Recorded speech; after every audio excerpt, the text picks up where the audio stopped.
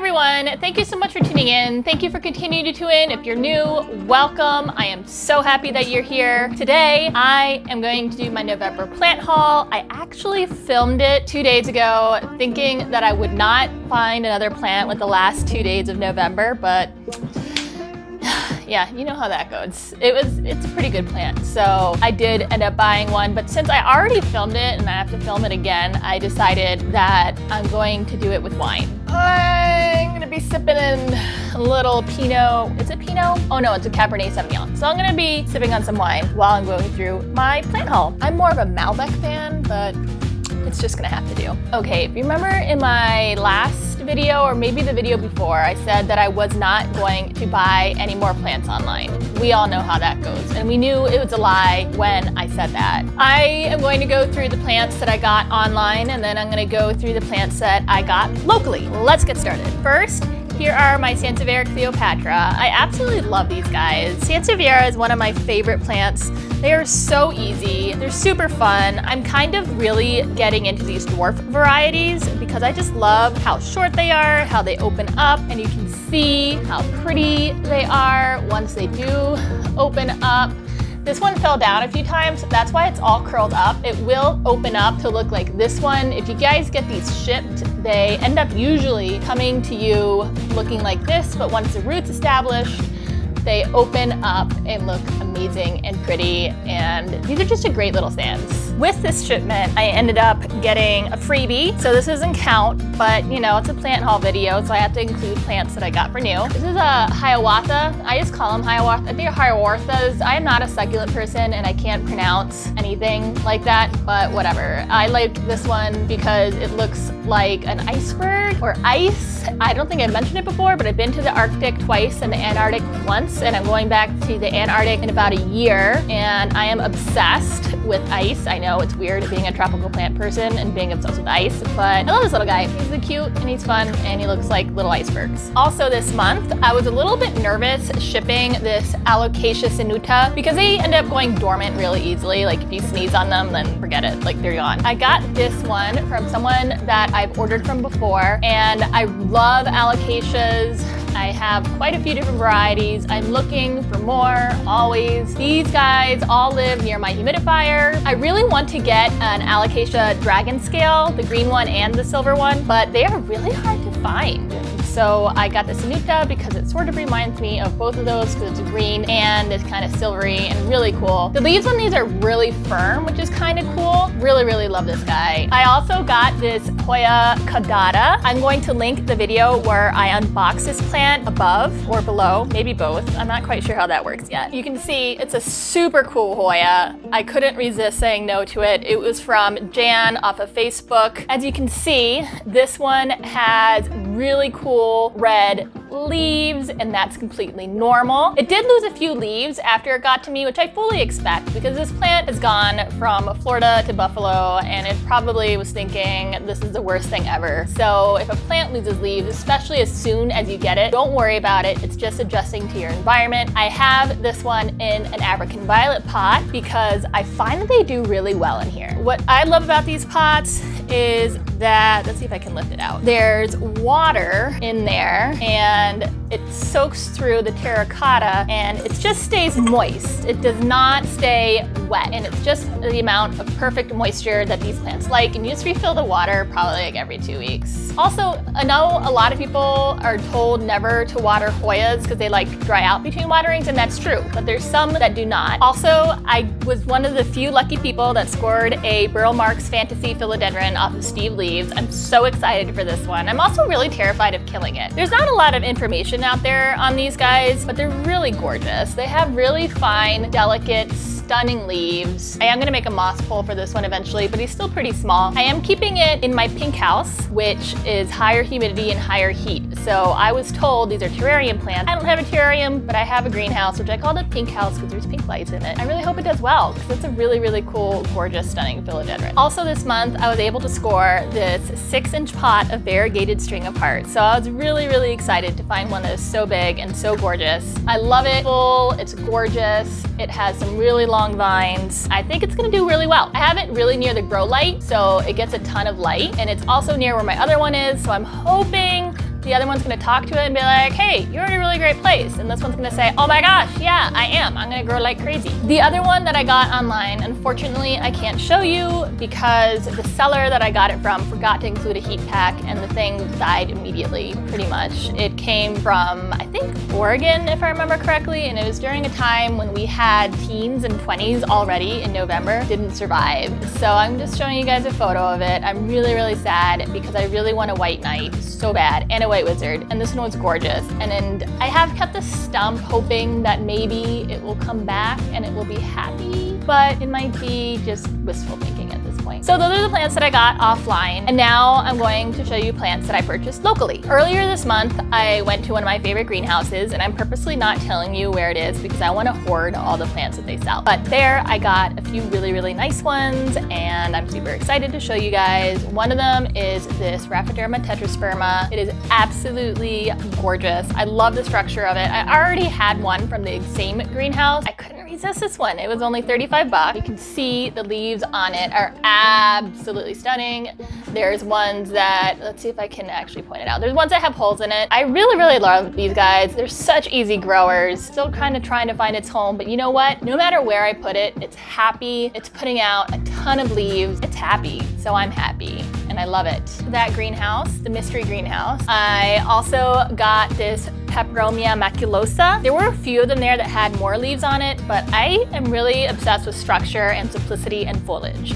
And that is something that you'll always hear me say on my channel is how much I love the structure of a plant. And this one, even though it's really simple and it's just two leaves, I really couldn't pass it up. And these leaves are huge. They get bigger and they're really, really thick. And you can see it up close, how pretty and structural it is and it also has some new leaves coming in, so I'm excited to see how it forms. At that greenhouse, I also got Pilea glauca. I love these guys. They are the easiest plants that you can grow. If you have someone who doesn't know anything about plants but still wants something cute, get them a Pilea glauca. I have plans for this one. I'm going to be putting it in something. I'm gonna make something, a planter, that normally is not a planter, and I'm gonna do it right here on YouTube. So you are going to want to subscribe. Just a quick close up really cute, really pretty. At Mystery Greenhouse, I also ended up finding this saguaro cactus. I do not know whether it's false or true. I did ask the growers and they said that these are true saguaro. This greenhouse has been around for over 100 years. They said this one's about four years. I love that it's heart-shaped. I love that it's just a weirdo like me and it's a double. It weighs a lot. I'm amazed how heavy these guys are. But this one lives in my bathroom in front of a south-facing window and it also has a grow light so it receives a of light. I really am happy with it. I love it. And even if it was false, I'd be okay with it. I really don't care if it's false or not. I just want to know what I have in the sense of being botanically correct. Also at Mystery Greenhouse, I got the Sansevieria parva. Like you guys know by now, I am obsessed with Sansevieria. I like collecting as many as I can, and I particularly like the smaller varieties, but I like, you know what, I have big ones too, so that's a lie. I like them all. This is a Sansevieria parva. It's really cool. It's a trailing Sansevieria, so kind of like a, oh, it's my mic is all caught on it. Oops. Pretend you didn't see that. It's a trailing Sansevieria.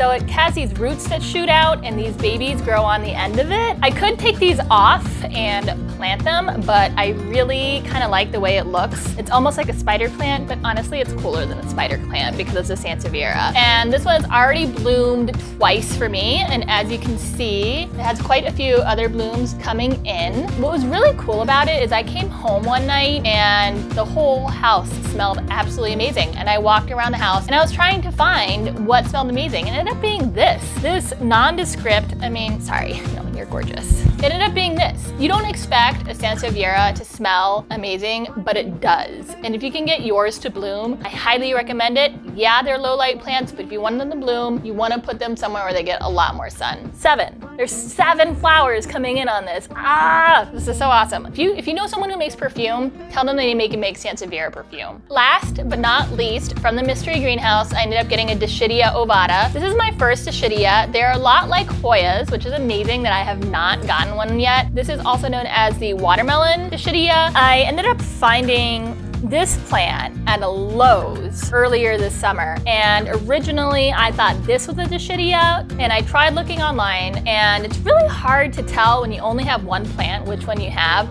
But now that I have both of them, I'm able to figure out this is a Peperomia quadrangularis and this is a Dischidia. I know some people call it Dischidia, but I like Dischidia better, so I'm calling it Dischidia. And you can see when they are up close how you can get them mixed up, but you also can see the differences. And one of the other ways you can tell the difference is that the Dischidia has a lot thicker leaves, especially on older leaves, and the Peperomia quadrangularis has softer leaves and they're not, they're a little bit more pliable, I guess you could say. Another way you can tell the difference is that the quadrangularis has sort of rectangular or angular stems and they're often red whereas the Dischidia are green and they have a rounder stem. They both turn different colors in the light. So I don't know if you can see, let's see if I can get it closer.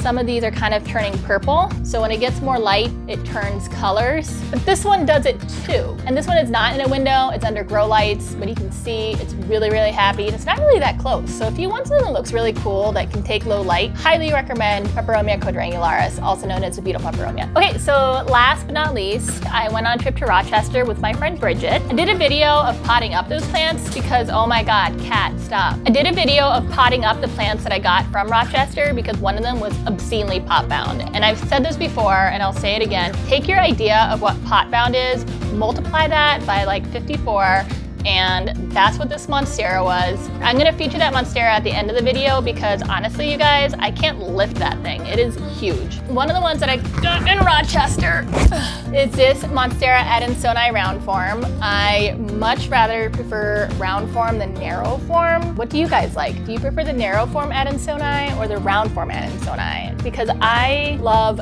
I just, I just, I don't know. I really like the round form better. I have it training to go up this piece of driftwood. I think it gets cooler leaves in the long run, especially when you train it up. In Rochester, I also got a lot of lemon lime trailing philodendron. I feel like a lot of these common philodendrons are often looked over and I don't know why because they're really stunning. They're super easy to grow. Another thing I really loved about this pot is how it's mixed in with some Brasil and I think the other pot has just regular heartleaf philodendron but I think more people need to mix them up because look how cool that looks with all the different ones and it puts on a ton of growth. I got this little one, I got two little ones as a filler and then I got one giant one which I'm going to show a photo of because it's too big to move. Also in Rochester, I jumped on the butt plant trend. I saw these lithops. They were cheap. I guess they're cute. In Rochester, I also found this small pot of string of pearls. I did get a string of pearls in New York City, and I'm going to link the video in which I found that string of pearls because I also went to the New York Botanical Gardens, and the New York Botanical Gardens are amazing. And my brother ended up composing music to go with your little botanical gardens tour, so you gotta check out that video. Anyway,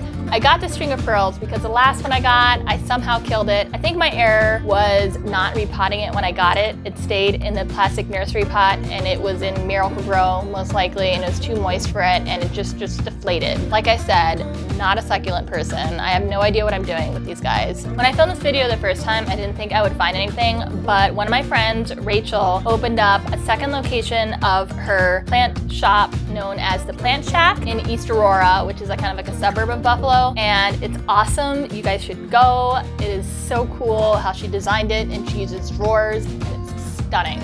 Rachel, you did a really, really great job. I went there for the grand opening and I was like, you know what? I'm not gonna find anything. No, no, it's only two, two more days to the month. There's gonna be nothing I want here. Wrong. This is a Begonia amphioxus. I have been admiring these guys online because they look like a cross between something being prehistoric and Dr. Seuss. How can you say no to this adorable, gorgeous, awesome plant? One way you can say no is it needs really, really high humidity. So this one also lives in the pink house. Maybe at some point I'll get an actual terrarium. Begonia amphioxus, super cute. I absolutely love it. And last but not least, here is the amazing, gorgeous Grendel. I named it Grendel after the monster in Beowulf because this guy is a monster and he needed a legendary monster name because the fenestrations on it is amazing. It has this new leaf coming in and it's actually open almost all the way now since I took this video and it looks amazing. I love this plant. It's the first thing I see when I wake up every morning and then what's this? Oh my gosh! Ah! Thank you so much for watching. I really appreciate you guys tuning in. I really, really, really do. I am super, super introverted. Well, maybe not super introverted. I'm pretty introverted, but being able to talk to you guys online and talk to you guys about plants really, really makes me happy. And I'm really excited to share something that I love with you and with other people. Thank you so much for tuning in. Appreciate it. Weasley appreciates it. Thank you so much for watching. I'll see you soon. Bye.